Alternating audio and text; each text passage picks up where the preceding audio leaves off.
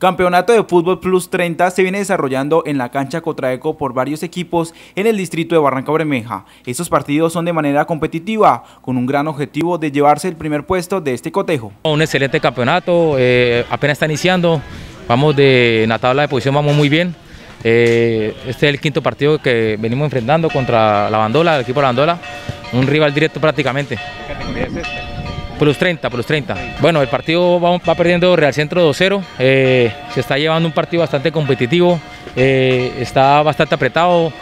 Eh, no se está notando mucho la diferencia entre parte y parte. Sí, señor, siempre hemos estado entre los primeros puestos. Bueno, no, mi llamado es tener, ahí acabamos de hacer un gol. vamos a seguir con el mismo compromiso. Es que usted sabe que hasta ahora el clima es un bastante complejo. la programación la sacan todos los fines de semana.